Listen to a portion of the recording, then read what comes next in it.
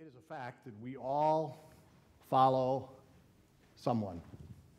Uh, that's true even of the people who are leaders, presidents, um, kings, CEOs. They all are people that have followed someone. If you get on Amazon.com and type in leadership, there will be hundreds, if not thousands, of books available. And some of them are from very well known names. You might read a book from uh, Colin Powell, uh, a book from Rudy Giuliani, or management guru Stephen Covey. And they will all give you good principles for how to lead effectively. And this sounds like somewhat of a boring topic, especially after the last couple of weeks where we've had some really um, hot button kind of topics. But the very fact that this sounds like it's not an important topic should alert us to the fact that we need to pay more careful attention. Because people don't, don't think about who they're allowing to be their leaders. Suppose you, uh, you chose to be a follower of Joseph Stalin or Adolf Hitler. Uh, things wouldn't turn out near as good as if you chose to follow somebody that was of more reputable reputation. So today, we're going to look at the topic of leadership, and, and rather than you tuning out and saying, well, I don't have to worry about this, I'm not a leader, hang in there because I think you may find differently. All kinds of voices out there, and so what we're going to try to find out today is what we should be looking for. Let me read this again. Remember your leaders who taught you the Word of God. Think of all the good that has come from their lives and follow the example of their faith. Jesus Christ is the same yesterday, today, and forever, so do not be attracted by strange new ideas. Your strength comes from God's grace, not from rules about food which don't help those who follow them. So, the, the first thing we have to ask is what leaders are we supposed to look at? And he says, leaders who taught you the Word of God. So, he says, what he's talking to us about are not just wild leaders or, or business leaders, financial leaders. He's talking about spiritual leaders. Now, we need to define what a spiritual leader is. Initially, some people will say, well, okay, he's talking about pastors. Well, I would hope that pastors are included in this, but not every pastor would be considered a spiritual leader who spoke the Word of God to us, who taught the Word of God. Because just because you read Scripture in a, a, a church service doesn't mean that you're actually teaching Scripture. Please understand that distinction. A couple of things, couple of pastors that probably should not fall under this category. Those who preach what people want them to hear. We talk, the Bible talks about those who preach to, uh, to soothe the tickling ears of those who listen. Those who are building personal kingdoms rather than the kingdom of God. Those who are promoting a political agenda. Or those who every Sunday just get up and say, you just need to be nice people. And if you're nicer people, God will like you. Those people are not teaching the Word of God. So they do not fit into this category of spiritual leaders who are teaching you the Word of God. But by the same token, not all spiritual leaders are pastors. This category is much broader. And I would like to think, and I would hope, and I would pray that all of you are a spiritual leader to somebody. And so I would encourage you to, to think about this. You know, there are, there are pastors, there are teachers, but there are Sunday school teachers, there are parents, there are coaches, there are authors, there are um, radio pastors, TV pastors. There's all kinds of people out there who are trying to faithfully present the Word of God to the people around them. So, what he tells us here is that we should look at the way these people live their lives. If they're going to teach us stuff, and we have to evaluate can I trust this person? Should I follow this person? They're trying to teach the Bible, but should I follow them? Let me give you a list of some things that you should look for, some questions to ask. Do they try to live by the scripture that they teach? Or is their life completely different? Have you heard people say this? Oh, I heard that guy preach, but boy, that's not the way they live well, then you shouldn't follow that person. Do they have a spirit of humility? Are they honest about their ongoing struggles? Are they authentic? Fourth, do they possess a servant's heart? Fifth, do they reflect their faith in their dealings at home? Sixth, are they kind to others? Seventh, do they keep their temper under control? Eighth, are they honest in their business dealings? Ninth, do they get the sense, do you get the sense that these are people of prayer? Tenth, are people being impacted by their teaching in life? And then finally, are they respected by the community, by the people outside the church? Uh, periodically throughout the Bible, you see this that when you're looking at leaders, you're supposed to say, are these people of good reputation? Now, this is a pretty tough list. But basically, what we're saying here is that when you're looking for a leader, when you're looking for somebody to follow, you want to find somebody who is consistent in the way that they live their life and in what they proclaim. Now, let's be honest, we know that everybody will fall short of that in some way. Everybody will fall off the horse, the white horse. Every knight falls off the white horse occasionally. But we're looking for somebody who the bent of their, their life is in this direction. And then what he tells us is that when you've examined their way of life, follow them, imitate them, find people that you can um, emulate, find people that you can learn from, ask them questions, watch what they're doing, watch how they do things, learn from them because others are going to learn from you. So, how do we become godly leaders? If, if everybody's going to watch us, somebody's going to watch us over the course of time, how do we become a godly leader? Well, first, we need to remind ourselves that this is the work that is building God's kingdom and not our own. It's really not about us. It's about the Lord. It's about serving Him in a wonderful way. Um, some of my some of my favorite uh, leaders, some of the people that I follow in my life, are, are, are radio pastors and authors and, and you know, just a whole bunch of people that have impacted me enormously. And one of them is uh, Chuck Swindoll, and some of you have heard him on the radio with Insight for Living. Some of you read some of his myriad of books. And, and I saw Chuck at a, we're, we're buddies, so I can call him Chuck. Um, I, I, saw Chuck at a conference one time, and it was a big conference, uh, thousands of, of people there. And, and the thing that impressed me, I have no idea what Chuck spoke on that day, but the thing that impacted me was watching this man worship. It was, it was an amazing thing. All these people there, and, and Chuck took off his glasses and he was just singing to the Lord. He was completely lost in the presence of the Father. He had no concept of the, he was unimpressed by the amount of people that were in front of him. For that moment, it was him and the Lord. That impressed me more than anything else. Alistair Begg is a pastor who teaches on a radio program called Truth for Life. He's a, great, great teacher, wonderful sense of humor. And I had the privilege of seeing him at a, at a, a small pastor's conference. It was a pre conference. It was just uh, maybe 40 of us present. And it was Alistair Begg and uh, Dr. James Montgomery Boice, two luminaries in the Christian community. And the thing that impressed me about Begg was the fact that, that he took the gospel so seriously, but he didn't take himself seriously at all.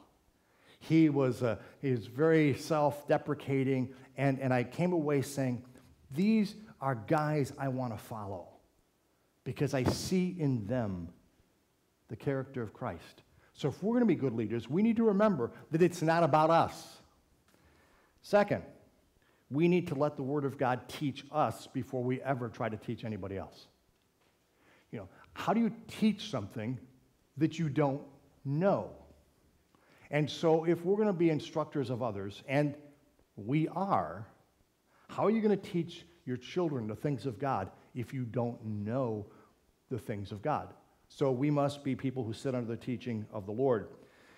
Our goal should be to communicate rather than to show people how smart we are.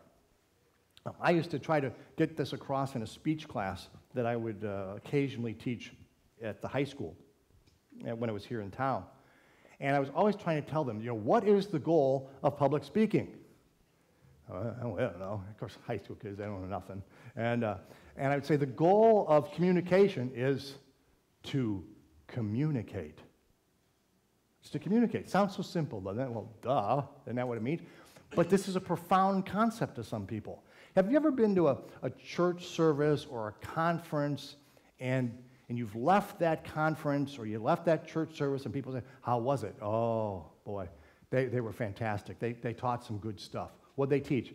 Well, I don't actually know because I couldn't understand them, but, but they were really smart. They, oh, wow, they're really smart. Okay, guess what? You have not taught anything in that situation. You've been totally ineffective as a communicator. All you've communicated to people is, I'm smart, and you're not. That's not what we're called to do. We're called to communicate the truth of God to people who won't understand it unless we translate it to them. So we're trying to put it down on their level so that they are drawn into the Word of God themselves. Next, we have to continually examine our own lives so that we ourselves do not become like the Pharisees. The Pharisees were good teachers. The problem was they became so wound up in teaching that they forgot that that teaching needed to be applied first to their own lives. There's a reason that in 2 Corinthians we're told to examine yourselves to see if you are in the faith. We need to do that continually. Am I, am I doing what I'm preaching? And I'll be honest, there are times when I say what I'm preaching is something that I'm struggling with in my own life, but I try to be honest with you on that and say, you know, here's, here's the truth. This is what we're supposed to be doing. Mm, but it's tough. I know because I'm struggling with this myself. So we should be people who are uh, continually examining our life. Fifth, we should teach and we should lead with fear and trembling. I think Rick would bear this out that there is not a Sunday that we enter this pulpit where there's not a bit of fear and trembling. Because the book of James says, We who teach will incur stricter judgment. That God is going to look at us and say, You know, you're leading people. Where are you leading them? Hmm. Are you accurate? Are you teaching the truth? Are you handling the Word of God rightly? It's a big deal. It's a significant task that we're up against. And then a reminder that, that leadership is not something that you, you earn, it is something that comes upon you. For example, you, you can be appointed the president of an organization, you can be made the um, pastor of a church, you can be made a CEO of an organization. That doesn't make you a leader. It may make you a boss, it may make you an authority figure, it does not make you a leader. A leader is somebody who, here's a concept, leads. A leader is somebody who has inspires people to follow them. And so that's what we should be trying to do. We should be simple, we should be honest, we should be focused on the Word of God, and that we should be leading in a way where hopefully people will follow us. Now, after this, he drops in verse 8 here. Jesus Christ is the same yesterday, today, and forever. And, and as I was looking at this text, I thought, well, is this, is this actually the next idea, or is this still a carryover from this teaching thing? Why is this verse here? It's a great verse, and we like to put it on refrigerators and all that, but we want to ask, why is it here? What's the context of the verse? What, what is the author trying to get across? Now, after this, he says, Do not be attracted by strange new ideas. Your strength comes from God's grace, not from rules about food, which don't help those who follow them. So it seems like he's still talking about teaching. He's still talking about leaders, good leaders and bad leaders. And in between, there's this section that says Jesus Christ is the same yesterday, today, and forever. Why? Because I think what he's reminding us of is that even the best of men are only men at best. Even the best leaders in the world are going to let us down. They're going to disappoint us. They're going to have bad days. They're going to make some mistakes. And what I believe the author here is saying is that the leader that you ultimately need to be following is the one who never changes. Now, that doesn't mean Jesus is boring. You know, we would say, well, if something never changes, oh, you know, if you saw the same episode of a TV program night after night, wouldn't you get tired of that? What well, never changes? That's the problem. It never changes. That's not what, what's meant here. It, what the, the never changing part of this is that, that he is consistent. He's consistent. The, the Jesus who died for us in the past, the Jesus who intercedes for us in the present, the Jesus who's coming for us in the future, is always consistent. He's always the same. We can trust him, first of all, because he defines truth. He knows what truth is. He will always lead us in the right direction because he is the truth. You don't have to worry about him leading you off into some wacko idea. If somebody is not teaching what Jesus is teaching, they are leading you astray. It's that simple. Where Jesus is taking us is where we need to go. Second, Jesus is the uh, one who is capable to lead us. He's not going to make any mistakes. He knows the way through any circumstance. No matter where we are, He's got the right advice, He's got the right teaching for us. And so He's telling us that we need to be people who are uh, following Christ, and a lot of times we do that initially by following a solid teacher who is going to point us to the Word of God.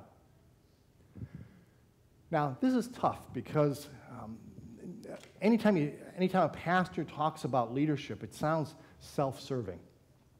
It's not meant to be that, and you know that we're not preaching on this text because I got an axe to grind.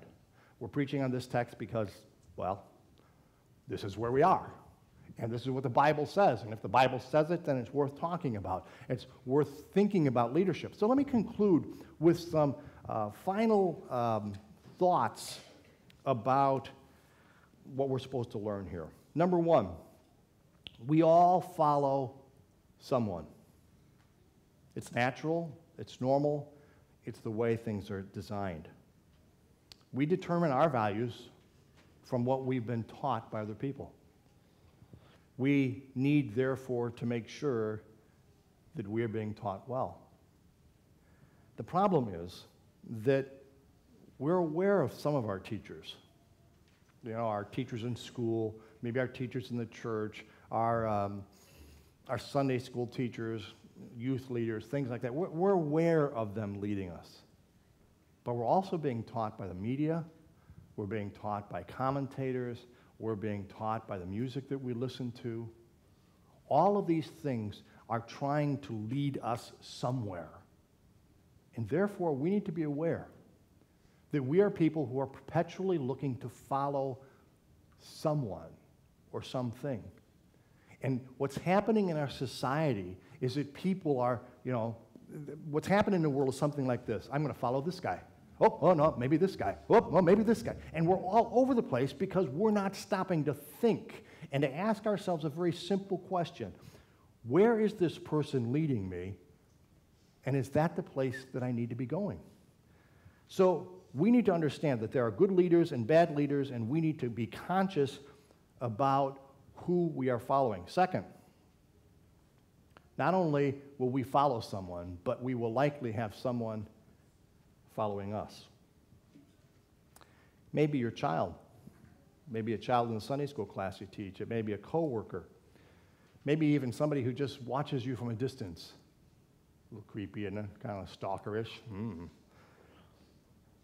But the fact is, you are likely leading someone.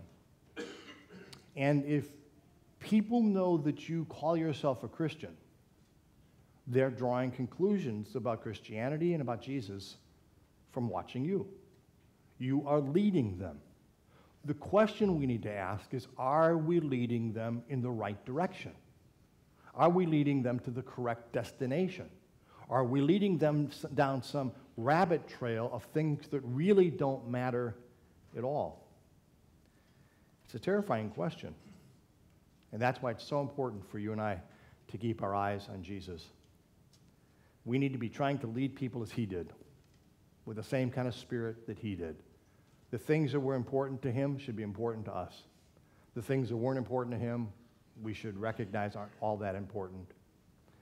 Third, we can only lead if we know where we're going. Would it be silly to go up to somebody and say, hey, could, could, you, could you tell me how to get to uh, Nashville? Sure, just follow me. But this person has no idea where they're going. Driving all over the place two days later, you say, Do you really know where Nashville is? I figure we'll find it eventually. I could have done that myself. Uh, and, and, and so we need to understand that we can't lead somebody if we don't know where we're going. Jesus said, I am the way, I am the truth, I am the life. No man comes to the Father except through me. So if we are not following Christ, then there's no way we can lead people to the way, the truth, or the life. It's impossible. People say, I can tell you how to have a better life. Not if you don't include Jesus, not the best life. I'm teaching you the truth, not if it's contradictory to Jesus, because He is the way, He is the truth, He is the life. We must be seeking Him. So the question that you and I need to ask ourselves is Are we one of His followers? We can't lead other people to the kingdom of God until we have arrived there ourselves, in one sense, until we ourselves have a citizenship there. So, do you? Do you? Are you a person who um, merely attends church, or are you a person who has given your life to Christ? Are you a person who puts a Bible on a shelf, or are you the person who listens to it as the word of life that's going to speak to you and point you to the one who died for you, the one who called you before you were even born? Are you a person who has made that commitment to Christ? It's not a matter of being good, it's not a matter of being uh, holy. It's a matter of trusting Him and bringing the broken pieces of our lives and saying, Lord, I can't make it without you. And then it's a matter of allowing Him to change us. And finally, I want to remind you that the greatest need of leadership in our day is consistency. Isn't that the most frustrating thing about looking at some of the political leaders? They make all these great boasts, they pass these laws that they themselves are breaking, and we become completely cynical. We start assuming that every leader is going to hurt us. And as a result, we don't follow anyone wholeheartedly. But what happens is that that makes us um, subject, that makes us vulnerable to the more subversive teachers. To gain credibility as a leader, our job is to follow the Lord consistently. In fact, whether you're a leader or not, that's what God calls his people to do follow consistently. People are watching and they are quick to dismiss anyone who is not consistent. Before we can be a good leader, we must first be a good follower. The one we follow, or at least the one we should follow, is Jesus. And if we are following him fervently and wholeheartedly, other people are going to notice. And then they too will want to follow him. And they may just do so in the beginning by following you. So let's pray. Father, how easy it is to shrug these commands off because we figure they apply to somebody else. When the truth is, you have called us all to be faithful witnesses. In that sense, even people that we may not see, people we may not know, friends that are apart from Christ are looking at us. And Lord, that terrifies us because we know how inconsistent we are. We know we still have flaws. We know that, that the work is far from over in our lives. But we pray, Lord, that you would help us to live consistently, that you would help us to be good learners. We pray that you would raise up before us examples to follow, people to learn from. Help us to learn how to pray by watching people who pray. Help us to learn how to read our Bibles from people who are able to teach the scriptures effectively. Help us learn how to be compassionate to others by watching those people who show mercy in a way that is profound. Help us, Father, to share our faith by watching those who do so effectively. Lord, we pray that you would raise up leaders people that we can model our lives after that will lead us to you. And then, Father, having learned, help us to lead others. We ask in Jesus' name. Amen.